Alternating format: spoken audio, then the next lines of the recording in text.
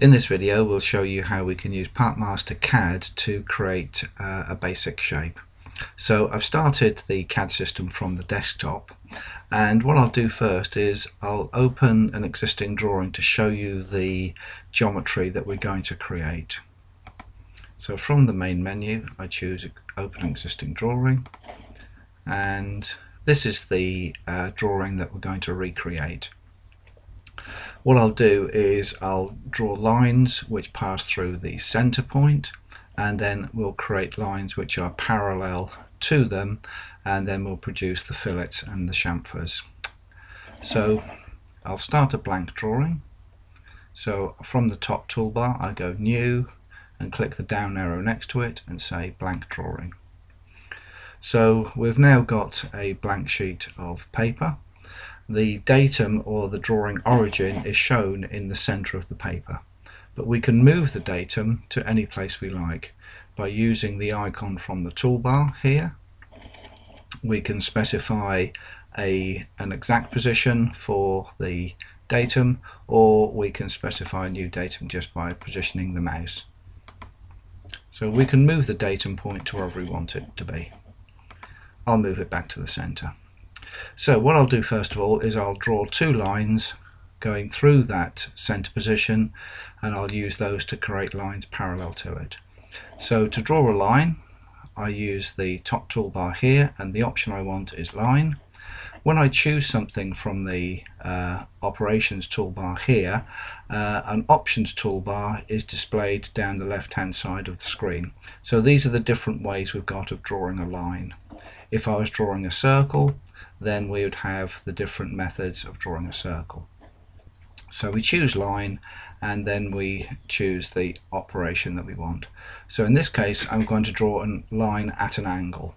What that does is it obeys the current angle, the default is 0 degrees, and it draws a line basically wherever the cursor happens to be but I want to snap the line onto that datum position. So to do that, I use the bottom toolbar here, which are my snap modes, and I switch on near snap.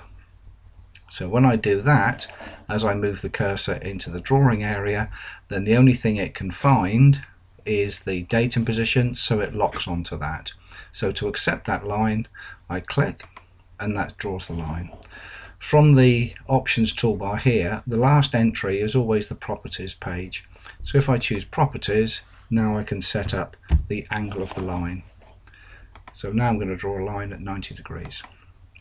Now the way that uh, PartMaster CAD works is that I stay in drawing a line mode until I change my mode to something else. So I'll keep in line mode and what I want to do is just change my option which is to draw a line parallel to an existing one. So I'll do the vertical ones first. So I click on that line, I type in the distance and then the direction. In this case it'll be to the left. Now I do that again, this time to the right. And if I want to draw a line referenced to that outside line, I use that as my baseline, type in the distance and go to the left. So that's done the vertical lines, now we'll do the horizontal ones. 50 below, 50 above, and 25 above. So that's got my basic uh, construction lines on. Now I'm going to put on the fillets. So to do that I choose from the toolbar at the top here the fillet command and then from the options toolbar here I choose the second option down which is to clip items. This means that when the operation has been completed, the lines which are parts of the lines which are no longer needed are clipped back. We also have another option here which is called auto. If I switch that on, then as I move the cursor into the drawing area, the system will automatically show me where it's possible to fit a fillet. I go to properties and set the size. So as I move the cursor around, you can see how it's locking on and showing me where it's possible to fit a fillet. So I choose the position where I want the fillet to be drawn, and because the clip option is on, the parts of the lines which are no longer needed are removed. So now I do the same thing using the chamfer command. the option I want is clip items auto is already switched on and I want to set my chamfer value. The chamfer can have any angle it doesn't have to be 45 degrees. So that's created the chamfer. Now I need to do something where these two lines intersect. So to do that I use the intersect command. And again the option I want is to clip the items. So as I'm moving my cursor around it's highlighting the intersection points but what it's also doing is those two little tracers that you can see moving along the lines are showing me the parts of the lines that will be kept when the operation has been completed. So if I move the cursor to one of these other positions, you can see that different parts of the lines will be kept. But these are the lines I want to keep.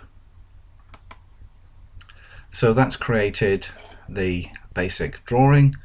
Uh, in subsequent videos we'll show you how we can put some dimensions on here and then transfer this through into the CAM system.